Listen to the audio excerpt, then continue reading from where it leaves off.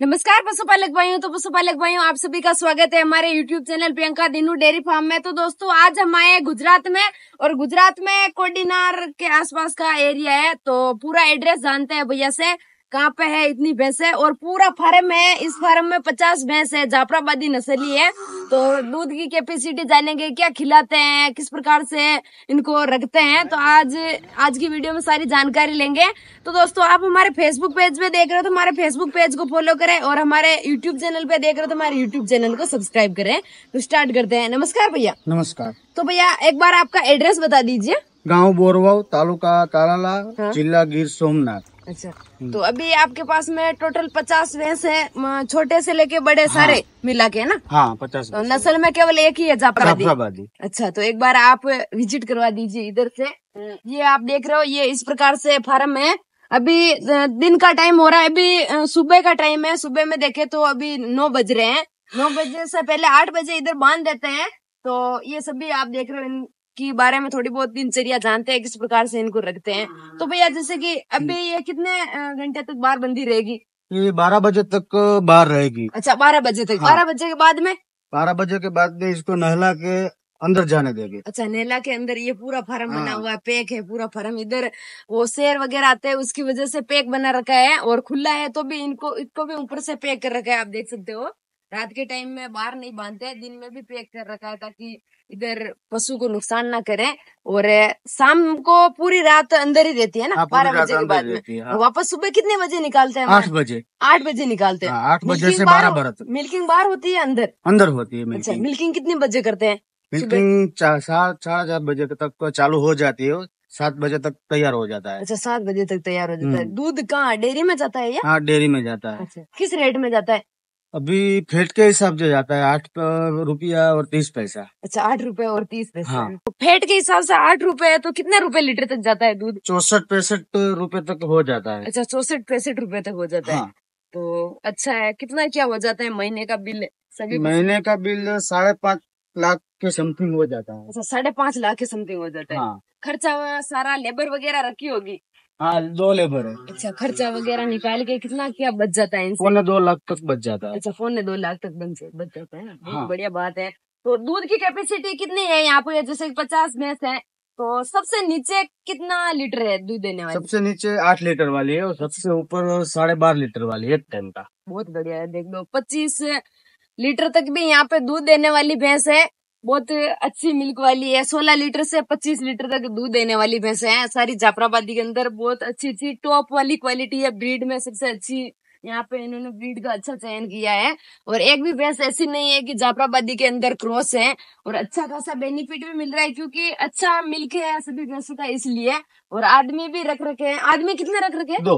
अच्छा दो आदमी रख रखे तो फ़ीड वगैरह क्या क्या खिलाते हैं फ़ीड में? फ़ीड में पापड़ी। पापड़ी खिलाते हैं हाँ। फ़ीड के अंदर पापड़ी इसके अलावा और भी कुछ खिलाते हो या? नहीं इसके अलावा और कुछ नहीं। अच्छा केवल पापड़ी खिलाते हो। तो जो ज़्यादा मिल्किंग वाली है उसको कितना खिलाते हो एक मतलब पूरे दिन का देखे तो? नौ किलो। अच्छा नौ किलो खिलाते हैं। हाँ। बहुत बढ़िया देख लो नौ किलो खिलाते हैं जो बारह लीटर टाइम का दूध देती है पच्चीस लीटर दूध देने वाली भैंस को नौ किलो तक फ़ीड खिलाते हैं। हाँ। और हरे चारे में सूखे में क्या खिलाते हो? लिपियर घास। अच्छा लिपियर घास है। तो अभी ये खेत में लगा रखा है ये खिलाते हो हाँ। तो पास में है इधर से काट के डालना और यहाँ पे डालना। हाँ। उसकी कटिंग वगैरह करते हैं या पूरा डालते नहीं कटिंग करते हैं चाप कटर मशीन है। अच्छा कटिंग करके बाद में डालते हो हाँ। और सूखे चारे में क्या खिलाते हो? सूखे चारे में ये जो मांडवी का चारा आता है वो खिलाते है और हाँ। वो बाटू आता है।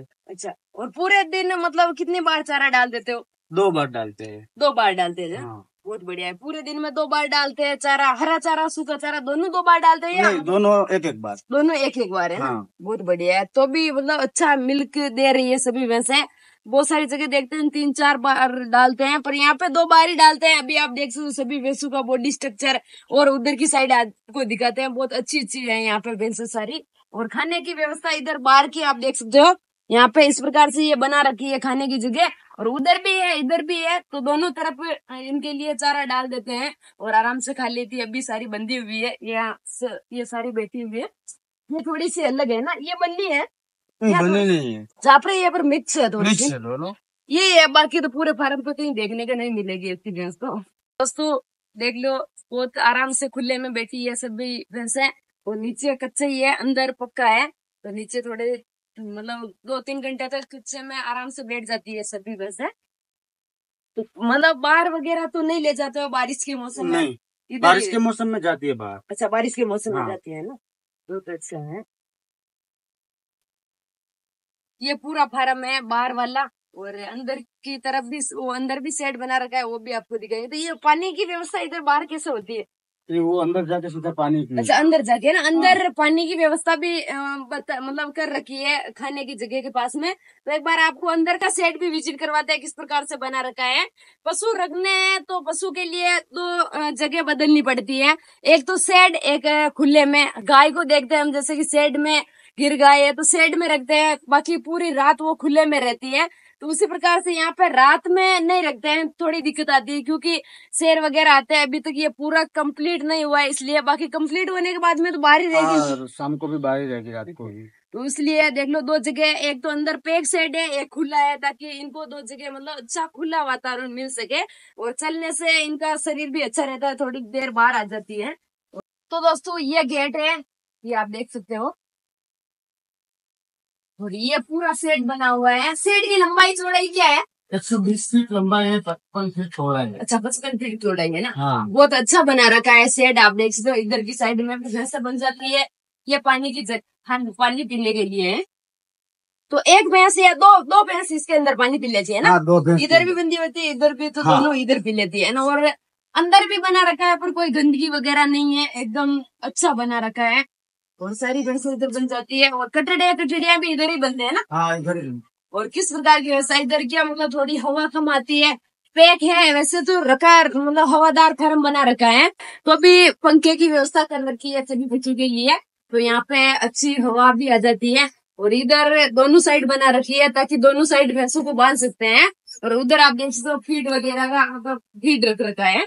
इस प्रकार की यहाँ पे व्यवस्थाएँ बहुत ही अच्छी व्यवस्था कर रखी है भैया ने। तो दोस्तों, आज की वीडियो यहीं पे एंड करते हैं। मिलते हैं अगले वीडियो में। वीडियो अच्छी लगे तो कमेंट करके बताना।